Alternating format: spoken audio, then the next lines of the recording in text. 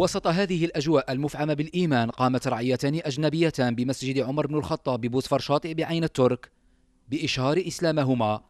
الأولى سيدة من دولة المجر غيرت اسمها من كريستينا إلى شهرزاد والثانية رجل من البرتغال أصبح يدعى زكريا بدلا عن جوزي. أن محمدا محمد. رسول الله. رسول الله.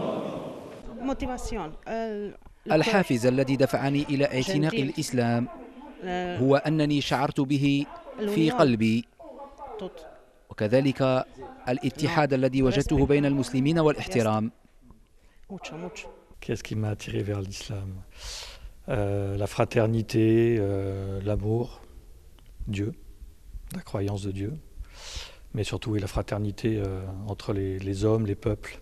C'est surtout ça le principal.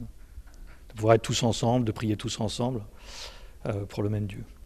الملفت للانتباه أن حالات اعتناق الإسلام بهذا المسجد تضاعفت في الآونة الأخيرة والحمد لله مسجد عمر بن الخطاب ببوسفر شاطئ دائرة عين الترك يشهد حوالي أكثر من ستين حالة اعتناق للإسلام من مختلف الجنسيات هؤلاء وبعد إشهار إسلامهم يتقدم بواسطة الإيمان بملف للجنة دينية للحصول على شهادة الاعتناق.